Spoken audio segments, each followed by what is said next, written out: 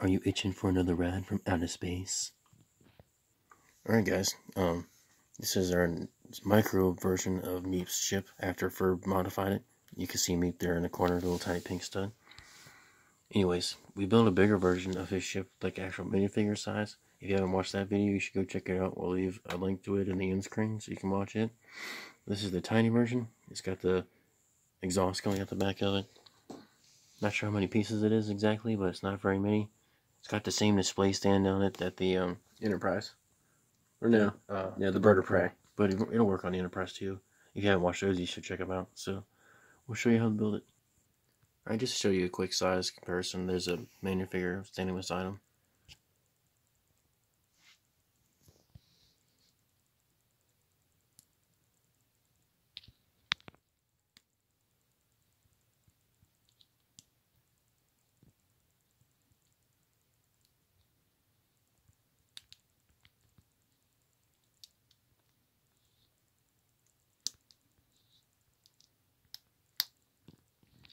There's a ship.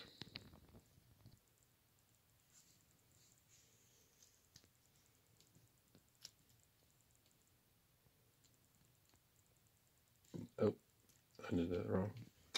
My mistake.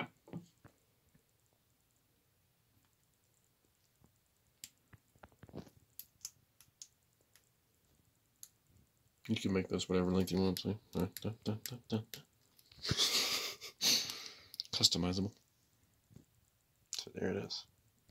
My ride from outer space. Uh, uh, uh, no, why, why are we stopping? We're being pulled in by a tractor beam. It's Mitch's ship. Some people call him Big Mitch, though. So there you can see Mitch's ship in micro scale. It's pretty cool. So the exhaust also acts as the tractor beam pulling in Meap's ship. So we'll post a tutorial on Mitch's ship here soon too, so check that out. So stay tuned to our channel for more videos like this and leave a like and subscribe.